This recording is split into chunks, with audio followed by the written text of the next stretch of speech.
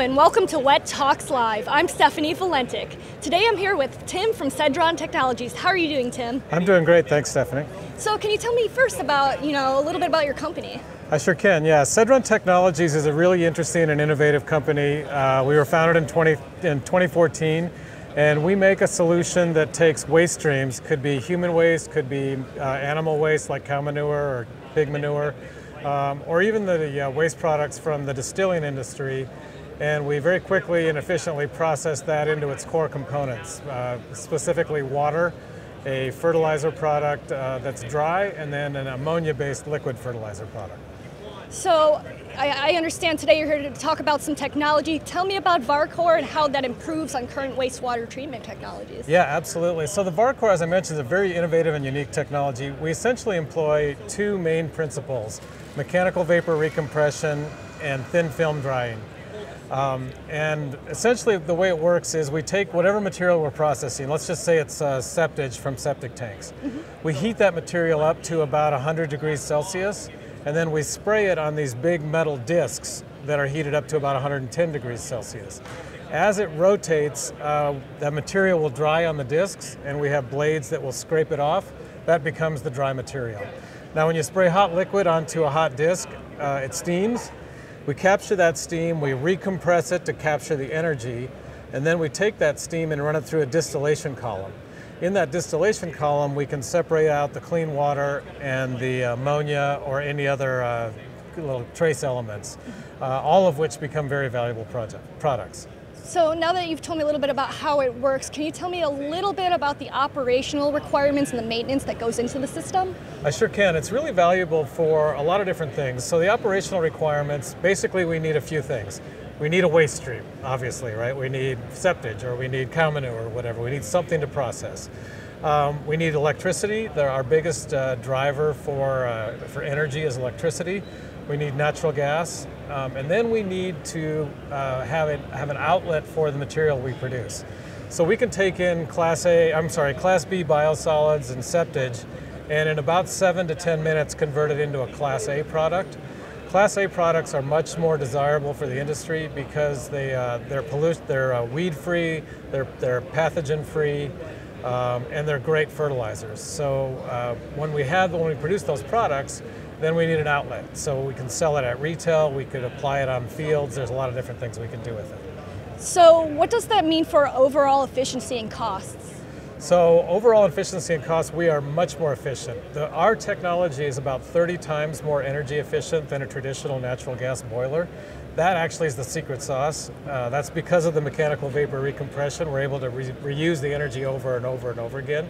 If we didn't have that technology, this wouldn't pencil out. It just wouldn't work. Mm -hmm. um, so that's a big part of it. Uh, we're far more energy efficient.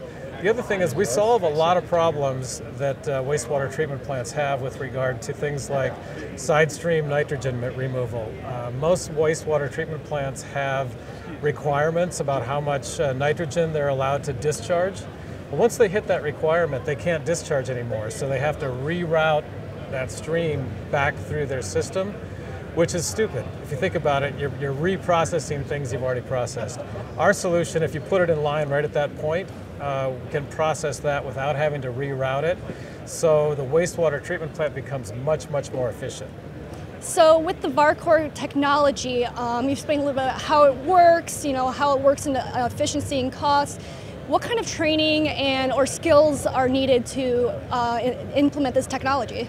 Yeah, the beauty of this system is uh, typically a site like maybe some of the ones we'll see on the video behind us uh, employs between 10 and 14 people. These are good jobs. They're high paying jobs, they're stable, uh, they're, they bring value to the community.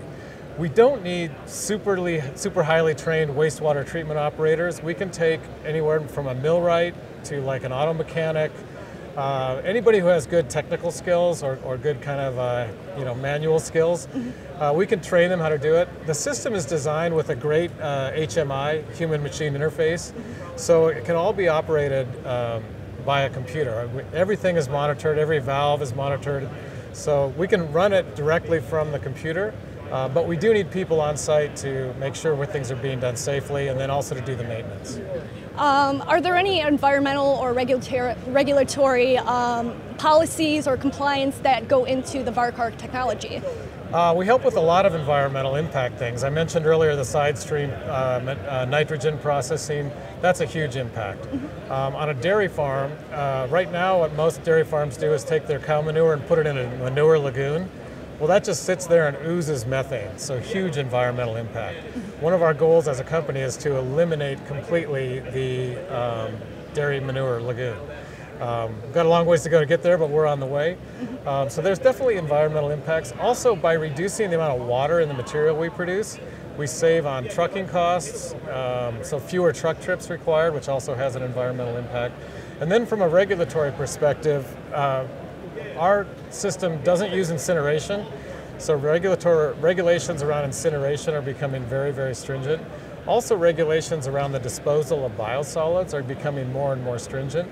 So by, by turning it into a Class A product, uh, we're able to uh, make it easier for wastewater treatment plants to comply with those environmental requirements. Well, thank you so much for joining me today. Do you have anything to add about what we talked about? Uh, I guess the only thing I'd like to add is uh, we, uh, we're very excited about where our future lies. We've got several projects under construction right now. We're not just three guys in a pickup truck. We've got steel in the air, at a dairy farm in Indiana, at a dairy farm up in um, Wisconsin, a human waste facility down in uh, Florida we're working on. We're working on a distillery deal in, in Kentucky. So uh, we're real. We've got steel in the air, we've got projects in the works, and we've got operating projects as well. So uh, looking forward to working with everybody. Well, thank you so much for joining me today once again. This has been Stefanie Valentic with WWETT Talks Live.